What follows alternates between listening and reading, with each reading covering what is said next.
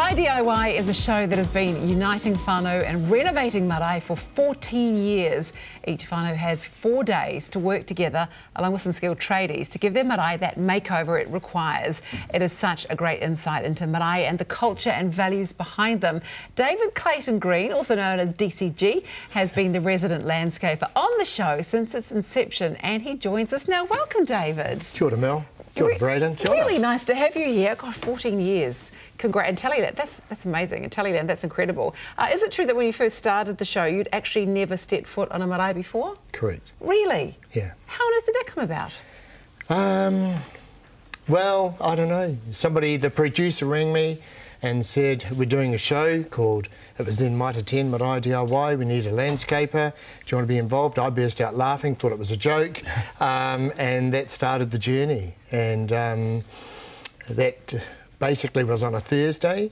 And on the Monday, I went to Rotorua and we hopped in a car and four of us drove right round the whole of the North Island, visiting three marae a day, and that was my first time I'd ever been on a marae. Wow. And I, I said on the way to the first marae, I said, I don't know whether it's important, I've never been on a marae before, and um, Mike just said to me, it's okay, Bray, we'll just We'll fit sort in." you out. Yep.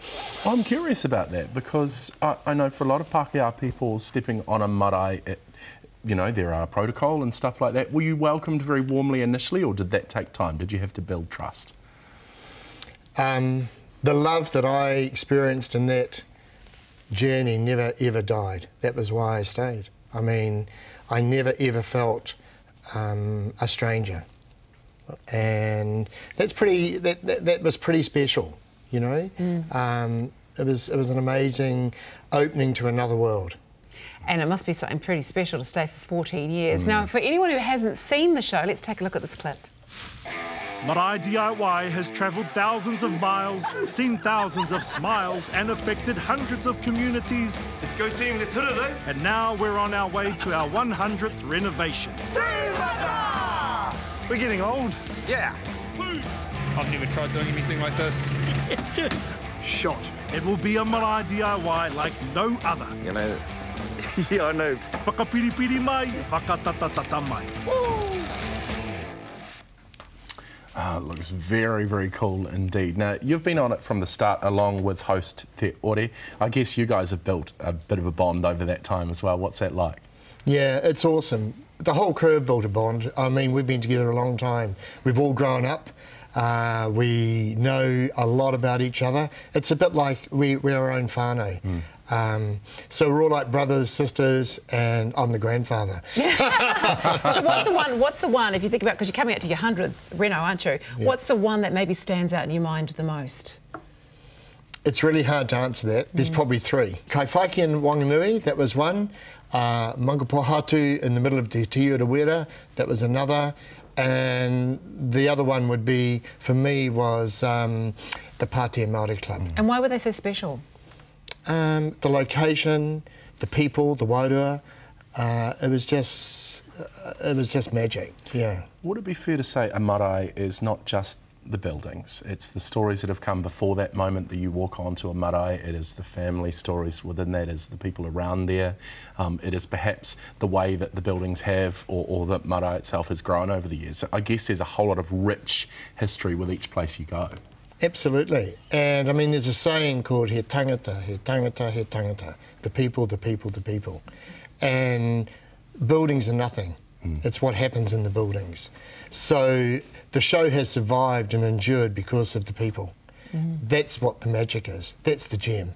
It's, it's not DIY. DIY is boring. You know? uh, it really is. Don't say that, 100 shows around New Zealand and now going, oh, you no, no, you've got, you've got to put it in context. It's don't think of it as hundred shows. It's brought nearly twenty thousand whānau home. You know, if you were to say two hundred whānau every DIY, hundred DIY, you look at how many whānau have come home, and that is the magic. That's what's so lovely. And you're, you're uniting the elders and the youngsters together to, to work on a project, aren't you? Absolutely, generations right the way through. Um, yeah. Are there any youngsters that have never stepped foot in a marae before, even though it may be their marae?